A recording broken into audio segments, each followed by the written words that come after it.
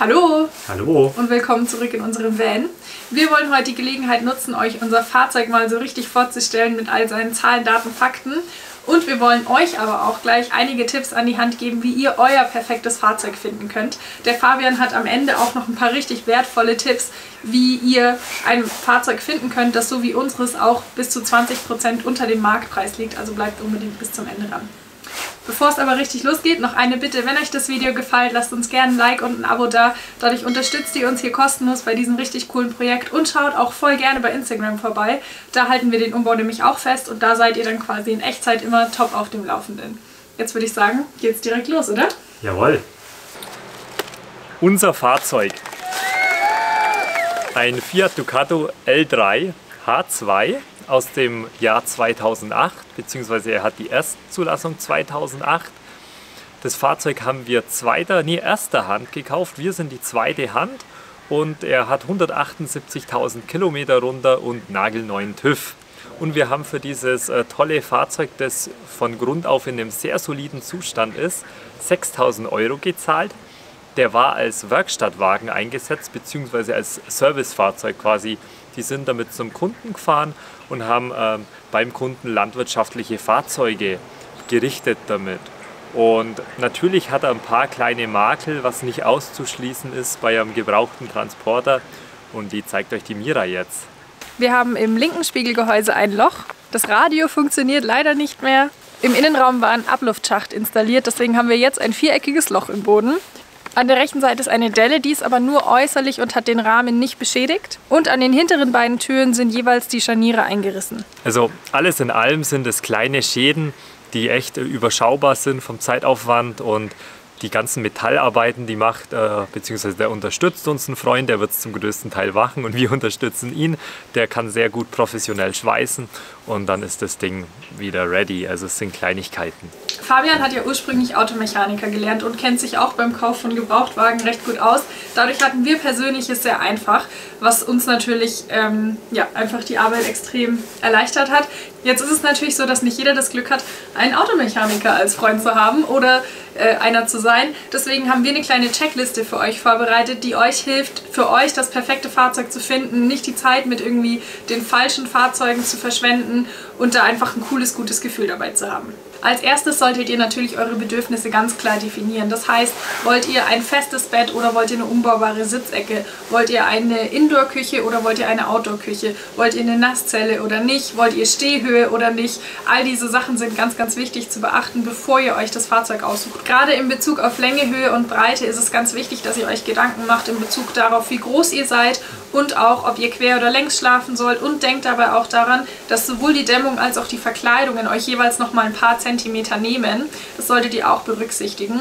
Und denkt auch dran, je länger der Van wird, desto weniger von diesen Fahrzeugen sind auf dem Markt, desto teurer werden sie in der Anschaffung und im Umbau. Und ihr müsst auch berücksichtigen, dass ihr zum Beispiel auf einer Fähre mit einem ähm, Wagen in L4 recht schnell auf Überlänge kommt und dementsprechend mehr dafür zahlt. Wir haben uns aufgrund all dieser Kriterien für ein L3 entschieden. Das passt für uns super, da kriegen wir all unsere Bedürfnisse mit einem coolen Layout unter den Hut und sind trotzdem nicht zu lang. Nee, perfekt. Wenn ihr jetzt also definiert habt, auf was es ankommt, geht es jetzt darum, welches Fahrzeug soll es werden, welche Marke. Und da gibt es eine große Auswahl. Es gibt zum Beispiel den Fiat Ducato, den Peugeot Boxer, den Citroën Jumper. Bei den drei Fahrzeugen ist es so, die sind vom, vom Grund auf sind das alles die gleichen Fahrzeuge, also das gleiche Basisfahrzeug. Die unterscheiden sich quasi nur in der Motorisierung zum äh, größten Teil. Das andere sind nur Nuancen. Und dabei ist aber schon wichtig zu sagen, dass ähm, der Fiat Ducato schon mit den zuverlässigsten Motor hat. Darum haben wir uns auch für diesen Ducato entschieden. Dann gibt es noch andere Fahrzeuge. Es gibt noch den VW Crafter. Der punktet besonders damit, dass er dafür bekannt ist, sehr langlebig zu sein. Also da gibt es Fahrzeuge, die haben gut die halbe Million Kilometer geknackt und laufen immer noch. Dann unter anderem ist der Crafter relativ breit, das heißt, wenn ihr groß seid, könnt ihr, äh, könnt ihr da auch noch quer drin schlafen mit einem coolen Setup.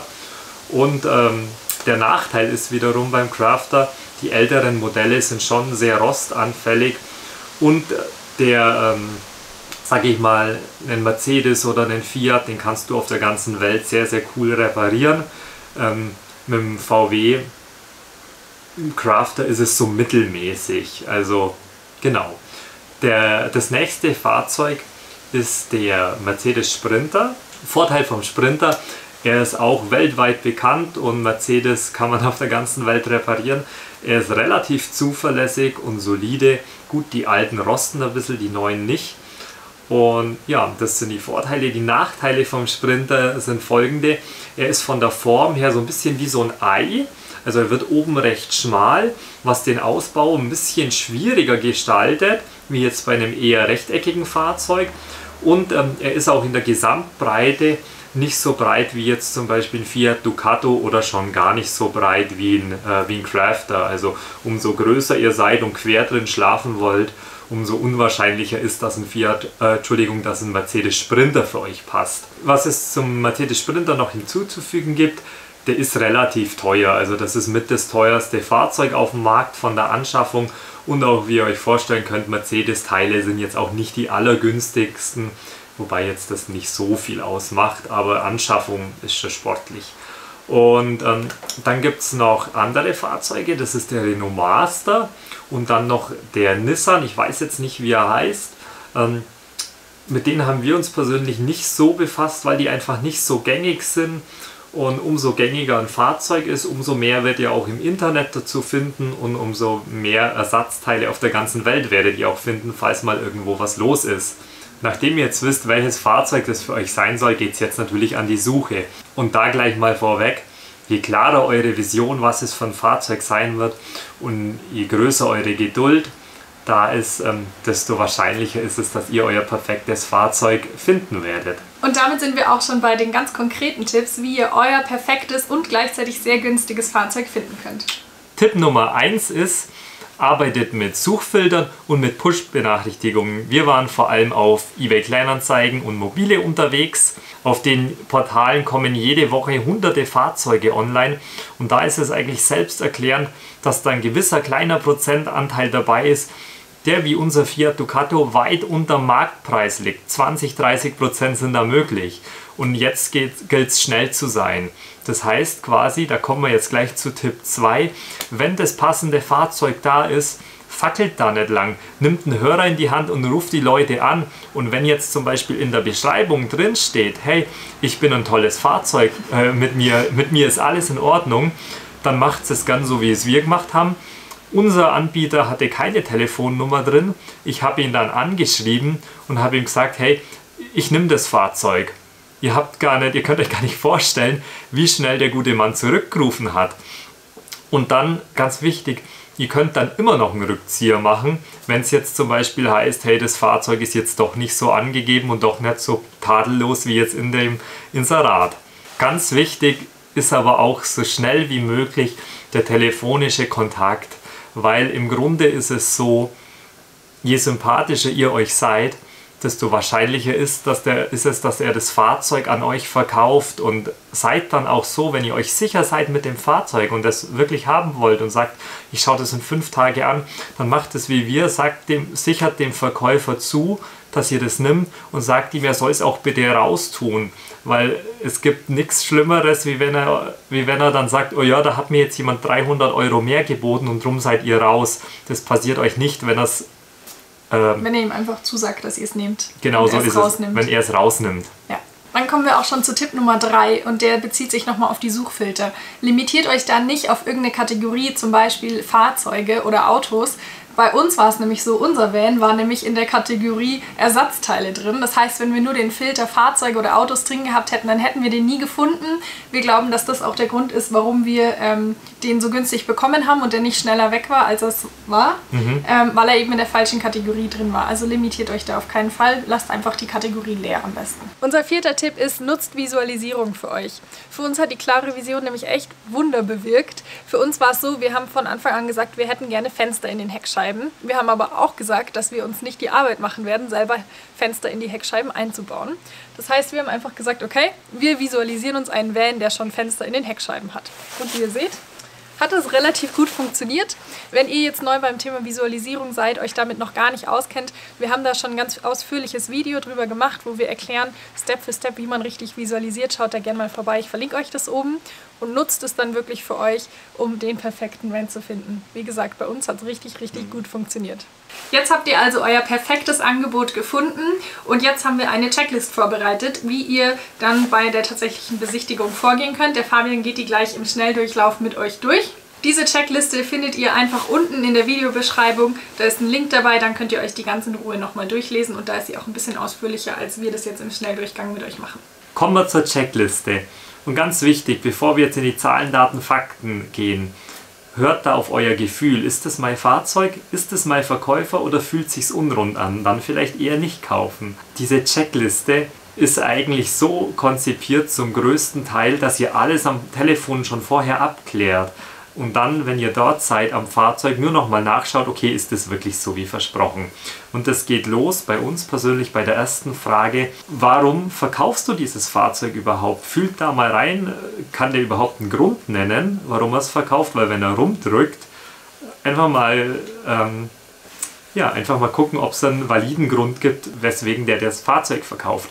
Das zweite ist, für was wurde, wurde dieses Fahrzeug genutzt? In unserem Fall war es ein Servicefahrzeug, alles cool. Von Paketfahrzeugen, also Zustellerfahrzeugen, wird man euch abraten, weil die sind dauerhaft an, aus, hinfahren, losfahren. Also äh, dauernd Belastung auf einzelne Teile ungut. Der nächste Punkt ist, hat das Fahrzeug noch TÜV?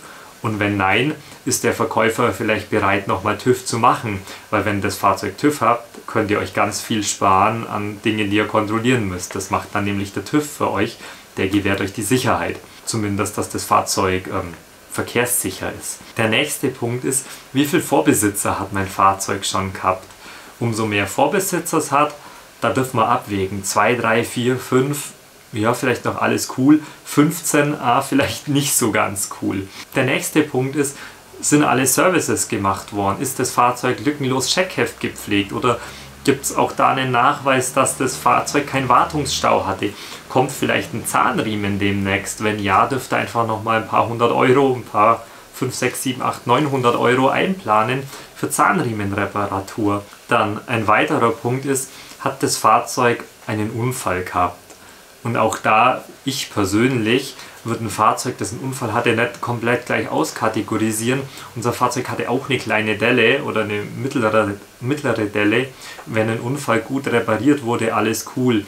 War es jetzt ein kompletter Totalschaden und alles ist verzogen, die ganze Kabine, ah, vielleicht eher nicht. Und der letzte Punkt ist ganz wichtig, das ist nämlich der Punkt zulässiges Gesamtgewicht. Normal sind diese guten Fahrzeuge bis dreieinhalb Tonnen zugelassen. Die brauchen wir auch, weil wir wollen ja da was reinbauen. Das wiegt alles was. Es gibt auch Fahrzeuge, die sind nur bis drei Tonnen oder 3,2 zulässig. Da wird es dann oftmals schon kritisch. Also hat das Fahrzeug dreieinhalb Tonnen. Noch ein weiterer Tipp, wenn ihr euch irgendwie unsicher seid, wenn ihr das Gefühl habt, ihr könnt es gar nicht so richtig bewerten, ob da alles passt oder nicht, wenn ihr noch offene Fragen habt, dann fragt den Verkäufer vorab, ob ihr, wenn ihr die Besichtigung macht, eine Werkstatt aufsuchen könnt. Im besten Fall eine, die ihr selber ausgesucht habt und nicht der Verkäufer und einfach über alles nochmal drüber schauen könnt. Natürlich nehmt ihr dafür wahrscheinlich ein bisschen Geld in die Hand, aber es kann sich wirklich lohnen, weil einfach ähm, ja, versteckte Schäden oder Überraschungen, mit denen man später nicht rechnet, einfach vorher schon zutage kommen und man basierend darauf seine Entscheidung treffen kann. So, jetzt hoffen wir, dass euch unsere Tipps geholfen haben, so wie sie auch uns geholfen haben. Wenn ihr euer perfektes Fahrzeug gefunden habt, schreibt es uns gerne in die Kommentare, lasst uns gerne miteinander verknüpfen, vernetzen. Und wenn ihr irgendwas Wichtiges vergessen habt, schreibt auch das in die Kommentare, dass andere Leute nochmal nachlesen können. Dann war es das mit unserer Kaufberatung in diesem Video. Im nächsten Video gibt es wieder einen Umbau. Und ja, wir freuen uns, wenn ihr uns wieder besucht auf unserem Kanal. Peace. Peace.